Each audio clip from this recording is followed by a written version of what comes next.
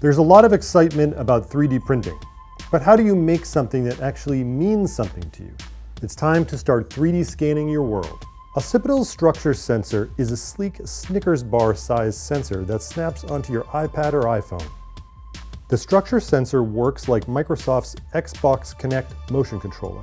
It shoots tiny dots of infrared light all over the subject you're scanning.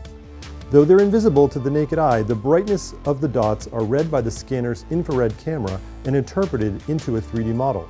Using the Structure Sensor app with an iPhone or iPad, you can wander around scanning things no computer needed. That means you can capture scanned veneers like these on your next trip.